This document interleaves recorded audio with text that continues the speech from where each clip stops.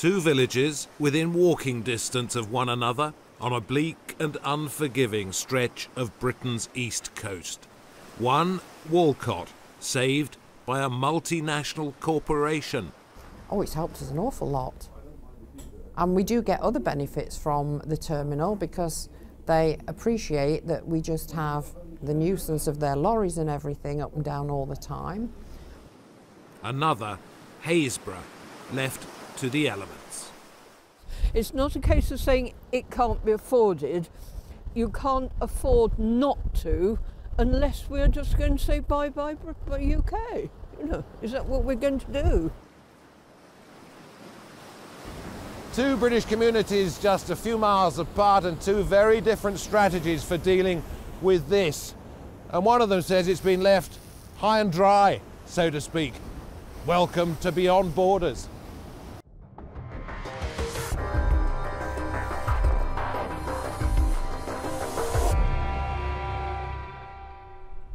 Left to sink rather than high and dry, say those in Happisburgh. At the current rate of erosion, it is possible that the whole of the village will be claimed by the sea within 80 years. The Saxon church, the ancient burial ground, the 17th century inn. The lighthouse, which was built in 1790, had a twin. That's gone, submerged. How long before this one goes? Well, in theory, what they're saying is this lighthouse could turn into an island because the water should come round both sides of it. And that's the latest prediction.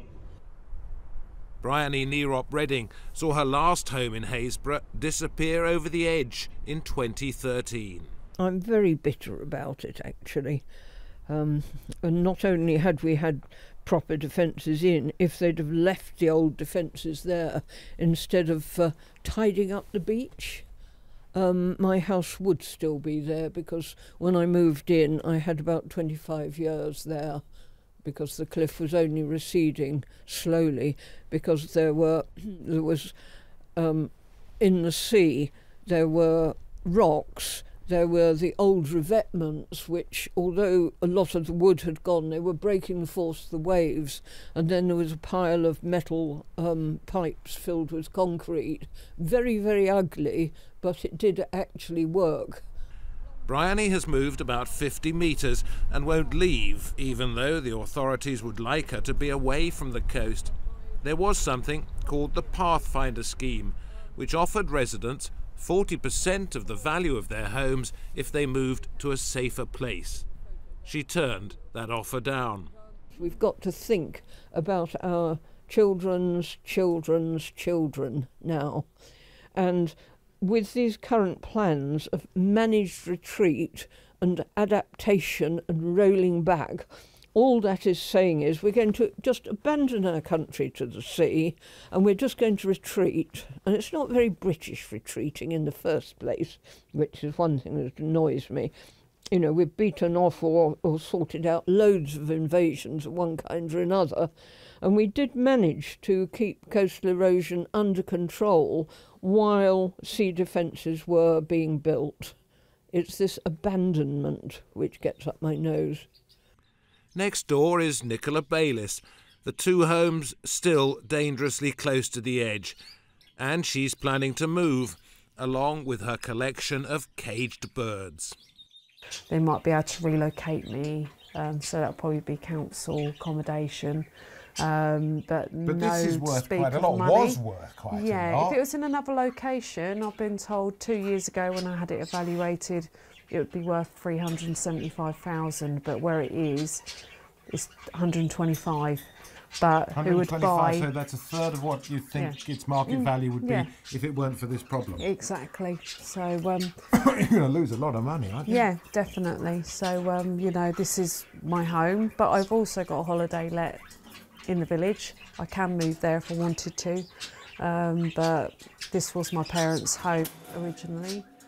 Um, so. But that's just life, yeah. isn't it? Yeah. Yeah. Can't do anything about it. No. The local bin man wanted to buy a house but couldn't get a mortgage. We are in the beach car park next to a large drop. I think they've got a plan to move the car park into the next field at some stage. And the extraordinary thing is, I mean, just look at it. It's, it's eating in Yeah. day by day, and this isn't even a rough day, No, is it? no, this I mean, isn't a rough crikey. day. And If we swing around, come over here, Mark. If we swing around and take a look at this, uh, you know, it's it's relatively This is calm, calm, isn't it? yep. And actually, only two weeks ago, the bottom of the ramp got washed away. Just we had a spring tide. The bottom of the ramp was washed away. It was shut for about a week. Come with me over here, because I want to look at this. This is what it used to be like. I don't know how many years ago, but we well, are. actually. I mean, this. Where are we now? We're.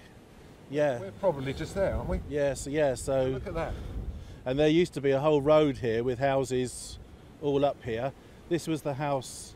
In fact, that's the house that they've taken down where the emergency sign is. That was taken down about a month ago. I think the cliff now probably is like that. Rob Goodliff is coastal manager for the local council. We can protect some locations, um, but some locations we can't protect anymore. Um, the reasons are for, for things to be protected, um, we have to be technically able to do it. So that's one thing. Um, we have to be able to afford to do it, and that's a real, real challenge because sea defences are extremely expensive. And it has to also be environmentally acceptable to do it. So it's not going to have a bigger impact on the wider coastline and various other, other things along the coastline. Are you saying, therefore, that it's not worth the money? No, it's not. It's not us saying it's not worth the money. It's about the government prioritising where it spends spends money and how it spends money. Well, that sounds like the government doesn't think it's worth spending the money. But it, but it's but it's also about the, about about the wider picture as well. So in some locations, and I'm not saying this one, in some locations you could have lots and lots of money if it was available. It's unlikely to be, um, but you still may not be able to do anything because it might not be technically viable. You might not be able to design something which is going to work. Well, how come they can do that up, up the coast, where, where. Shell, the big company Shell, has been able to protect that area? How come? The one up the coast was predominantly private funding from the gas terminal. Most of it didn't come from government, so two thirds of that funding came from um, from private funding. If that private funding hadn't come forward, that scheme would not have happened, and those communities wouldn't have been protected either. Absolutely, So- absolutely. so here- yes or no, it could be done here if the money was available. So here you would have to do an environmental assessment on whether it could be done. You'd have to look at whether technically it would work or not. If if you had 20 to 40 million pounds possibly, you, know, you could extend your or, or, or you could have extended that scheme, but the funding wasn't there to do that sort of sort of work Okay. for that for that area. Do me a favour and answer the question. If the money was available, it could possibly be done here. If we had funding, large amounts of funding, and it could be prioritised to this location rather than somewhere else, you could look and see how you could slow erosion rates down in this location.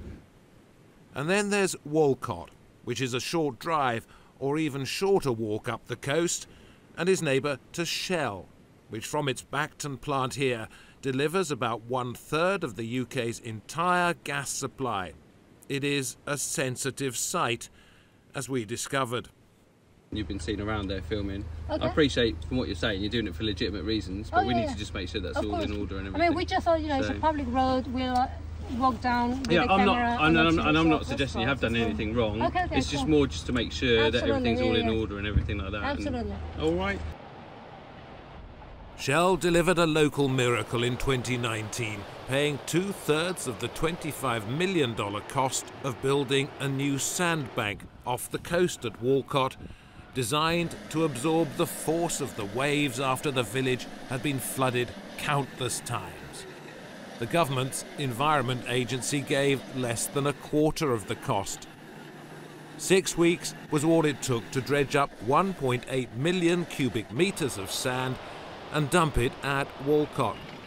A new beach and defences to last maybe 15 years had arrived.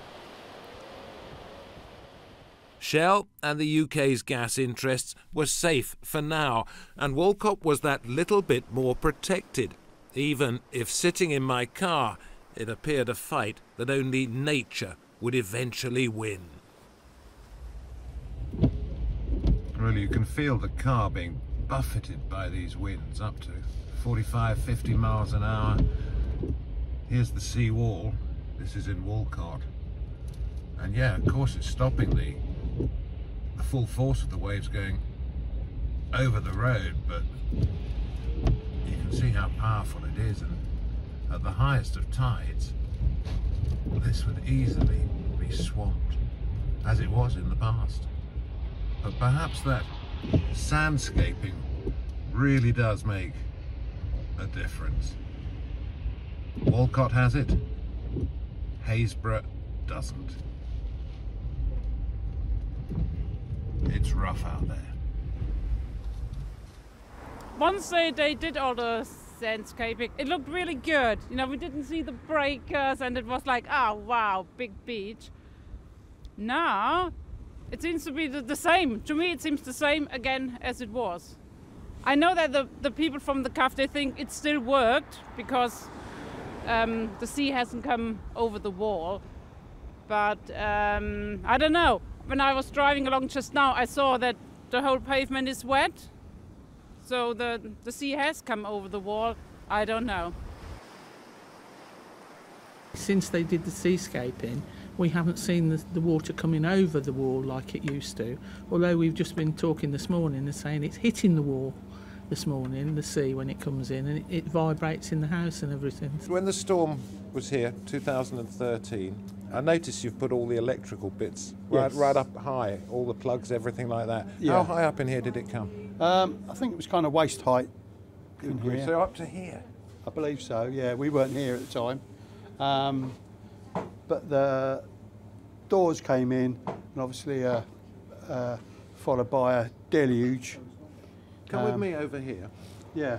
We're just going to have a look at have a look at those palings outside there, all that wood that you've put in. Yes. What does that do? The water um, comes over with a, a, a deal of force. It just saves the impact hitting the building. Pauline Porter remembers the day the dredger arrived with the sand for the sea defences. and oh, I can't can't describe the elation when that ship came in because we'd had some near misses with high tides and things and we just keeping our fingers crossed that we got through it'd been to six years. August. Six years since this terrible Yeah. storm, hadn't it? Um, You'd had to we're just up with it. keeping our Yeah. fingers crossed that we'd get through to Sandscape and then the ship came and there were tears of joy literally tears of joy and for the weeks that they were here the whole of the whole of the beach was lined with people obviously off the beach but as near as we could get um, vantage points and people would go for the whole day take sandwiches bottles of wine everybody was there all the time watching this because it was something to You see theatre. it was something to see. It was quite amazing to watch. It was paid for mostly by Shell. Well, not just Shell, because there are more. There were four term, four companies up Right, at the the terminal gas then. business, the gas terminal, yeah.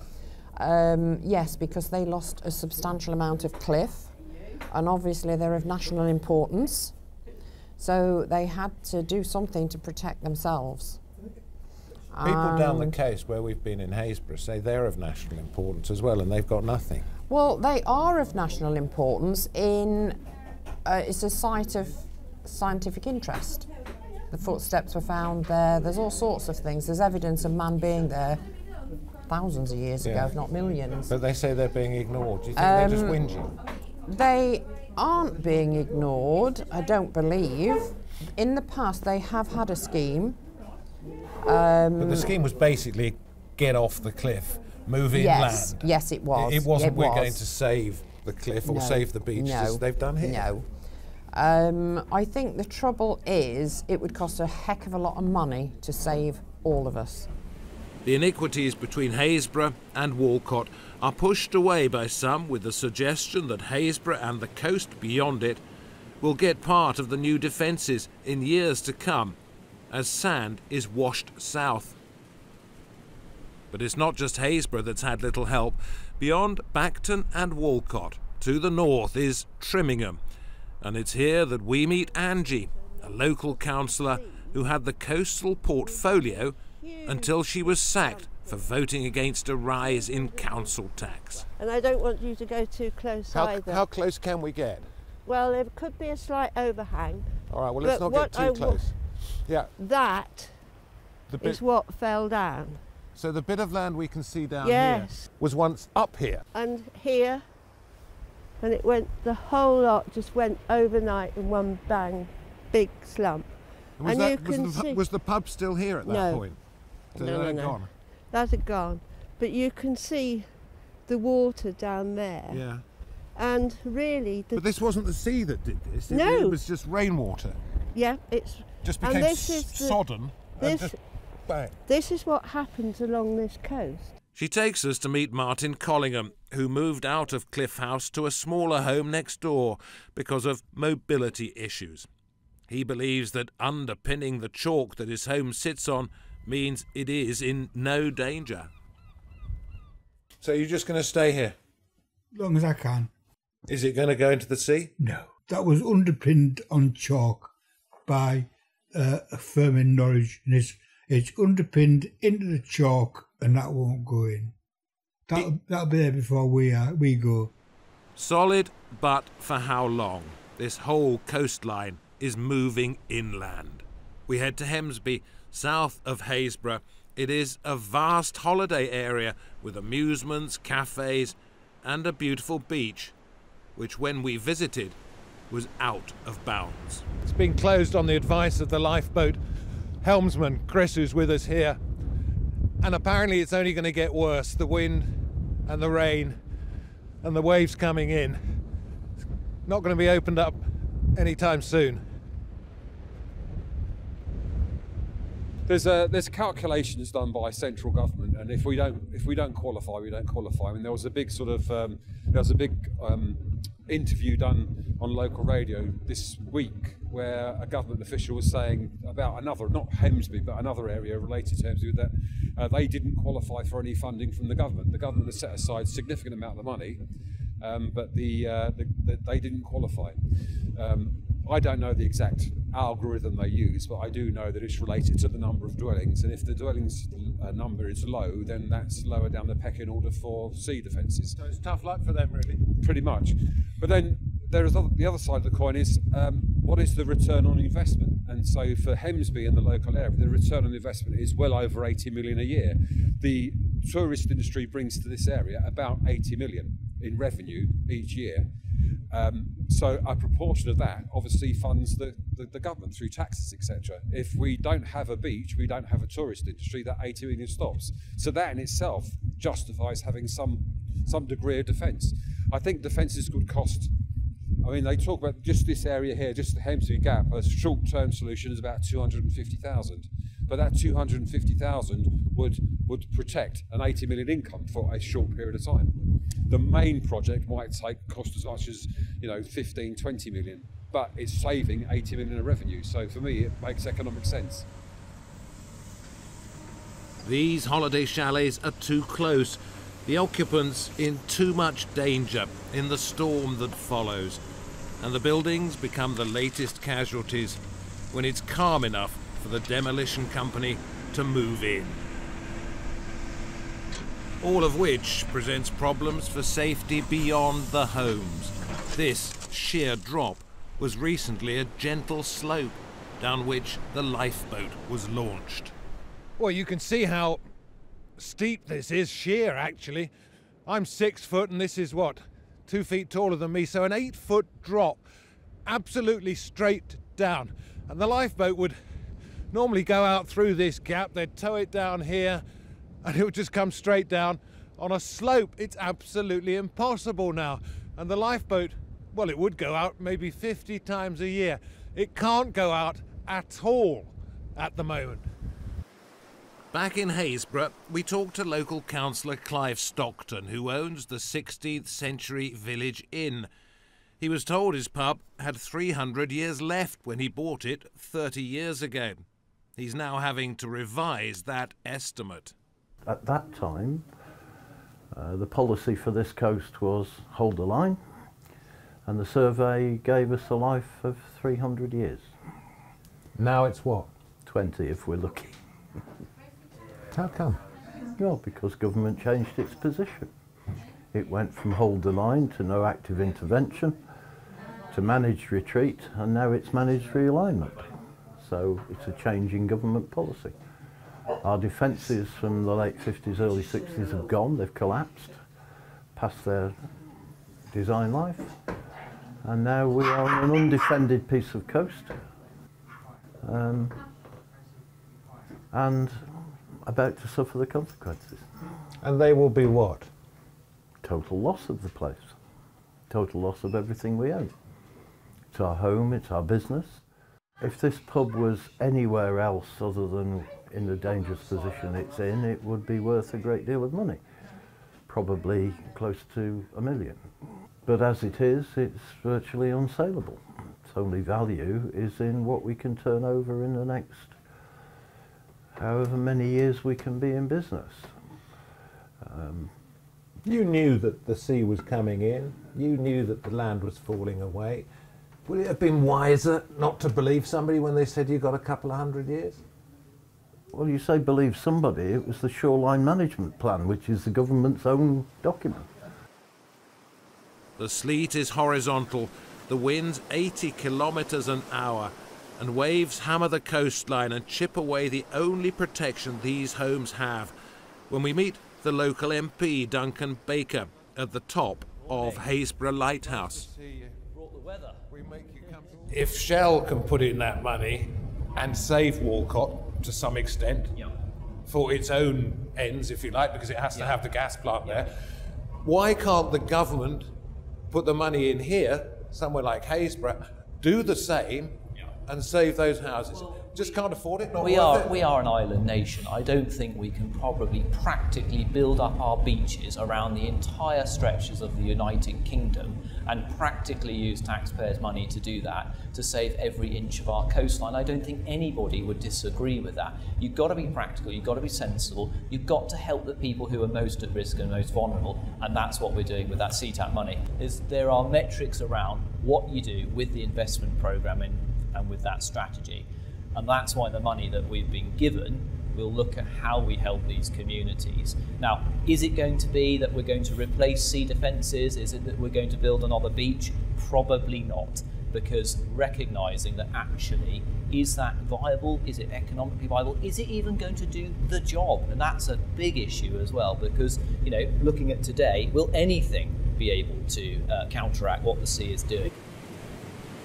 The lighthouse didn't help when one of Admiral Nelson's fighting ships, the HMS Invincible, ran aground on Haisborough Sands in 1801. 400 people on board died. We're standing on a grave. I feel a bit wrong about that, but Yeah. 119 bodies were eventually recovered and are buried at Happisburgh's St Mary's Church. Yeah, well, at least they're remembered here. exactly, it's there for a reason. When you think it was almost 200 years before their body was discovered, Amazing. it is amazing. Now, the work you would say, the sea's always going to win, as it did with these poor souls. So, is everything they're trying to do with any kind of defences pointless? No, uh, this, I mean, this whole subject is full of irony. Of course, it isn't pointless because if you use hard defences, you can slow the erosion down to a much, much more manageable level. So you don't let it run rampage. The problem comes is if you use hard defences in one area, you create other problems further down drift. So will it probably erode faster where there are no defences than it would have done had you not put it. For example, You- You're channeling the force elsewhere. yeah, and you're you're concentrating the power in one area. Is it now? It's okay if you can defend the whole coast because you're creating an equilibrium, an unnatural equilibrium, but an equilibrium nevertheless. What do you think here should be done? You say you can't stop it. Well, But- so what should be done? You, if do you, want everybody to move away from the sea? Well, I personally, for many years, I've been advocating um, adaptation, uh, rollback.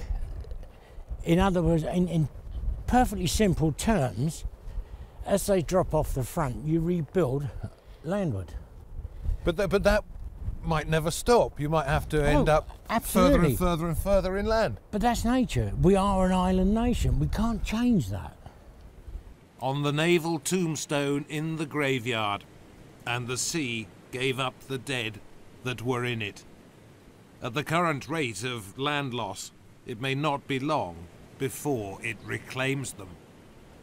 How quickly this can happen. One day this was farmland, the next morning, well, you can see just one enormous hole. But what makes this really interesting is that it wasn't the sea that caused the slip, it was heavy rain on top of unstable sand. And there's not much you can do to defend against that. The questions then for those in charge of protecting Britain's vanishing coastline. What is it possible to save? What should we prioritise? And who or where comes top of the list? Finding answers to those questions becomes more important by the day.